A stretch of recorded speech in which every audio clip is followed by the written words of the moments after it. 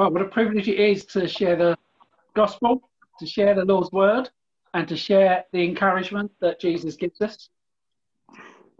Um, I don't know how many of you are uh, have the warped sense of humour that I have. But, uh, I have been watching the news with the subtitles on because it's much more entertaining. and I just wanted to mention uh, an item that came up yesterday where there was a lady who was celebrating her 100th birthday. She'd had COVID and she recovered, much to everyone's amazement. And they celebrated her birthday. And uh, there were some lovely comments. One mentioned from the care home manager who said, instead of the elderly, we're looking after the holy, which I thought was wonderful. and then uh, something that made me think of our Zoom meetings was that uh, they, instead of saying the family are very desperate to give her a hug, they said that they wanted to have a family honk. And I think we obviously. well, there it is! On, on cue. Whoever that is. Thank you, Lord. Perfect. So we, we have got our family honk going. Um, let's come into the Word of God and let's have a look at a very well known story. We're going to look at the centurion in Matthew chapter 8 and from verse 5. Now, I'm guessing we know this story quite well, most of us, if not all of us. And um, there is uh, an, another version in Luke 7. And in the version in Luke 7, it is the Jewish elders who approach Jesus until we finally get to the representatives of the centurion. But in Matthew 8, we have the centurion sharing the words that he sent to Jesus. So I'm just wondering if David's going to pop that up in a minute. It looks like it is coming up. He's working on it. As usual. Let me start to read it. Um, when Jesus had entered Capernaum, a centurion came to him asking for help. Lord, he said, my servant lies at home, paralyzed and in terrible suffering. Jesus said to him, I will go and heal him. The centurion replied, Lord, I do not deserve to have you come under my roof, but just say the word, and my servant will be healed. For I myself am a man under authority with soldiers under me. I tell this one, go, and he goes, and that one, come, and he comes. I say to my servant, do this, and he does it. When Jesus heard this, he was astonished and said to them following, I tell you the truth, I've not found anyone in Israel with such great faith. I say to you that many will come from the east and the west and will take their place at the feast with Abraham, Isaac, and Jacob in the kingdom of heaven. But the subjects of the kingdom will be thrown outside into darkness, where there'll be a weeping and gnashing of teeth. Then Jesus said to the centurion, Go, it will be done just as you believe it would. And his servant was healed at that very hour.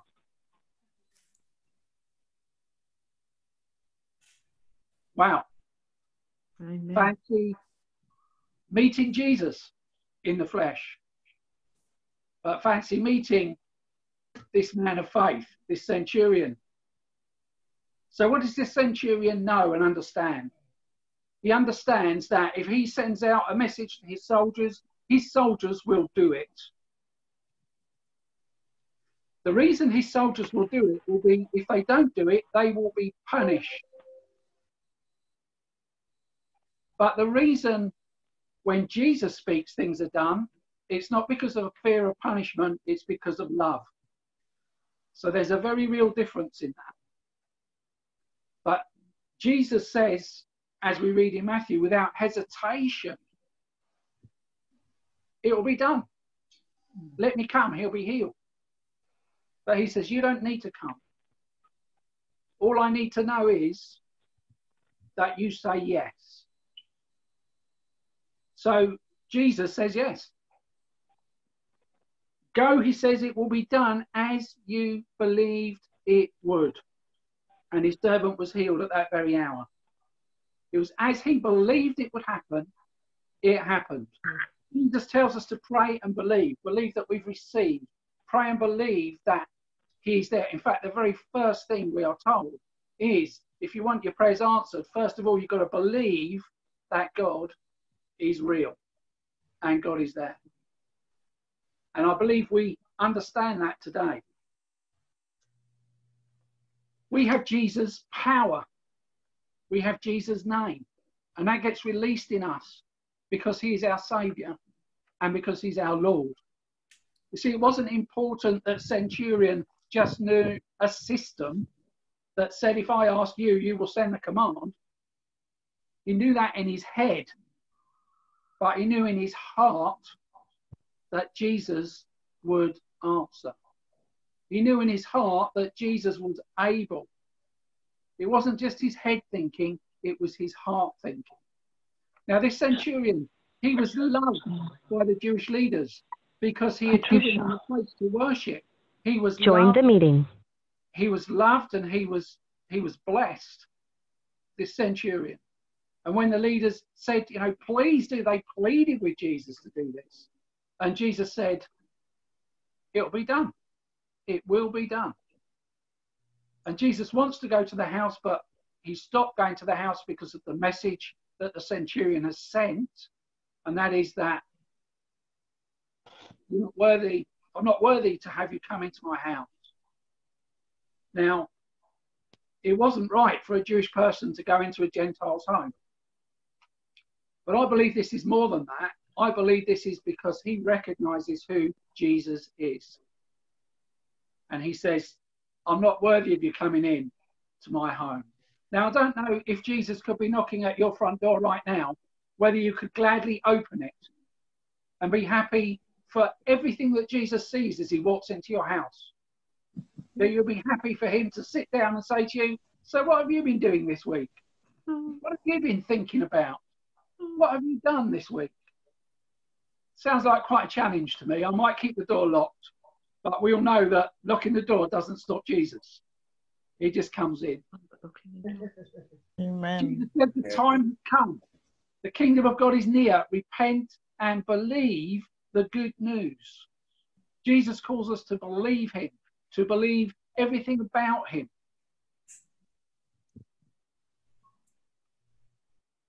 The beginning is to repent and to ask God to forgive us. When we want our prayers answered, the beginning is to say, Praise you, God in heaven. You are wonderful. You are almighty. It was, um, please forgive me, but I timed our Lord's Prayer today. This prayer that Jesus gave us to pray takes about 40 seconds.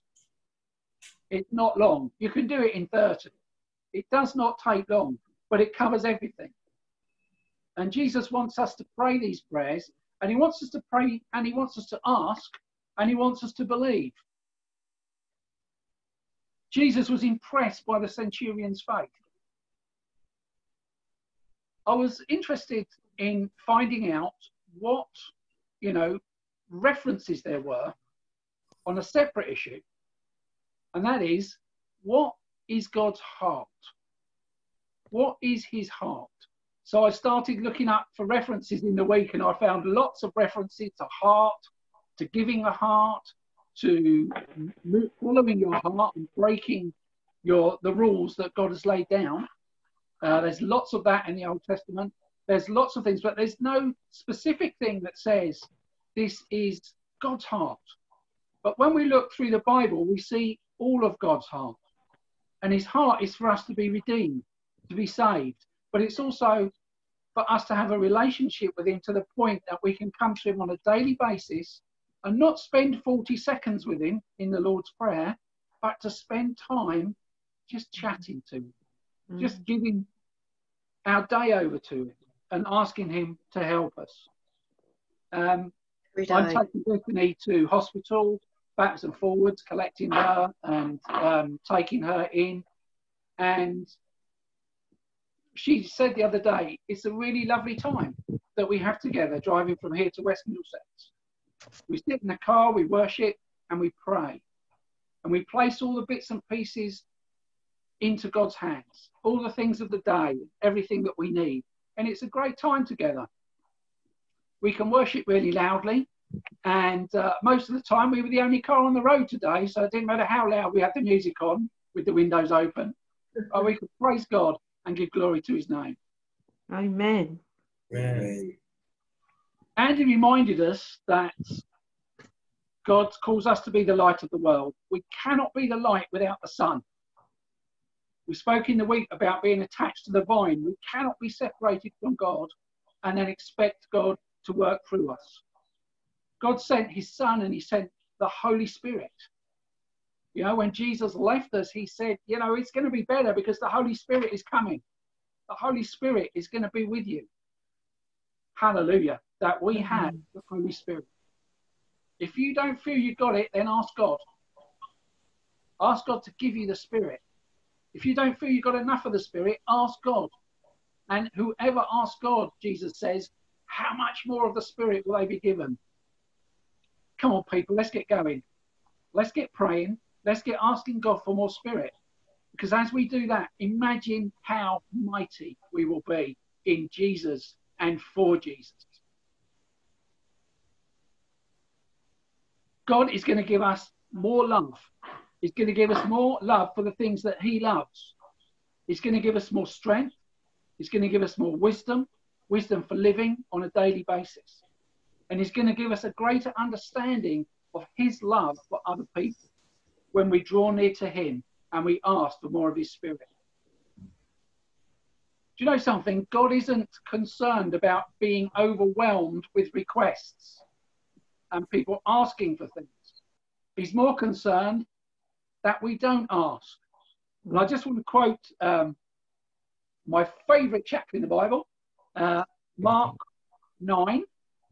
And from verse 19, Jesus says, Oh, you unbelieving generation, how long shall I stay with you? How long shall I put up with you? And I find that a massive challenge. You know, I don't want Jesus to be fed up with me. Then he goes on to say in chapter 9, verse 23, when he's asked, Can you do this? He says, If I can. Jesus said, Everything is possible for him who believes. Look at the centurion. He believed that God could heal his servant. Didn't even need Jesus to go to his house. He knew that he could heal his servant. If Jesus said, Let it be so, then it will be so. And finally, I just want to say this we live in a world that is not our world, Mm. it is Satan's world. And he is the enemy of God's people. And he loves to set traps and set snares. When Jesus walked the earth, he healed the sick, he delivered those that were held in the devil's snares, and he still does the same thing today. Hallelujah. Hallelujah. Maybe at this time you're being held back by sickness, fear, discouragement, a feeling of being unworthy, the knowledge in your heart and mind that you're sinning against God and you're hurting Him. Maybe there are spiritual strongholds in your life, things that are stopping your freedom in Jesus Christ. I just want to give you a couple of scriptures. Revelation 12, verse 11. And they overcame him, that is Satan, by the blood of the Lamb, that is Jesus, and by the word of testimony. And the testimony is Jesus is Lord. Amen. Don't just have him in your head, have him in your heart. Let him be your Lord. Don't get all puffed up with your own arrogance as well as God moves and blesses you in his spirit. I just want to read, sorry, David, I've moved on. I just want to read Luke chapter 10, verses 18 to 20. Jesus said, I saw Satan fall like lightning from heaven. I have given you authority to trample on snakes and scorpions and to overcome all the power of the enemy. Nothing will harm you. However, do not rejoice that the spirits submit to you, but rejoice that your names are written in heaven. You see, that's where we rejoice that we belong to Jesus, that we are a child of God. That is our place of rejoicing. Most of you know the story when we moved into our house that a medium had lived here, and over a period of time, God started to reveal things to us. And um, one of those things was that a medium had been here and been in one of the bedrooms here. Hallelujah, this house totally belongs to Jesus now. Amen. Totally. But we had spirits in the house, and that was the scripture that Jesus led me to. He saw Satan fall like lightning. He's given us authority. But rejoicing in the fact that we belong to Jesus. We belong to Jesus is the place of rejoicing and the place of blessing. So, whatever is holding you today, Jesus has overcome it. Whatever you feel might be trapping you, snaring you, Jesus has overcome the enemy on the cross. And by his blood, we are healed. By his stripes, we are healed. And we say, Hallelujah. Amen. Don't be afraid. Don't be afraid of anything that is a spiritual battle because Jesus is the Lord over these spiritual battles. Amen. But we know it is a fight. We know that it is truly a battle. And in this battle, we have the victory in Jesus Christ mm. alone. He is the victor over sin, over death, over sickness. And he used to walk around delivering people from the enemy and from spirits. So if you've got one today, he's not going to be enjoying this word because he knows that he is under the threat of Jesus Christ. And Jesus will set us free. What do we need to do? Have that faith that the centurion had. Believe as we ask, believe as we pray. There's many other scriptures guiding us and pointing us in direction. You know, let people pray for you, let people um, intercede for you. But our one true place of blessing is at the foot of the cross and with Jesus. Can we pray? Heaven, Heavenly Father, we pray that if there's anything that is binding us today, we give it to you in the name of Jesus. And we call upon the name of Jesus in faith to step into our situation, to step into this spiritual warfare and give us the victory. To no longer be held down by the enemy, whether we have depression or physical sickness, mental sickness, anything that might draw us away from Jesus. We just place that into the hands of our loving Saviour and say, Lord, take it from us and be merciful. Heavenly Father, we thank you that you gave us an authority, and that authority is in the name of Jesus. But it's not just the name, it's Jesus in our heart. And I pray today, Almighty God, my personal prayer is that everyone listening or even listening in the future to this word will have an open heart to you and say, Come in. Make your home in me.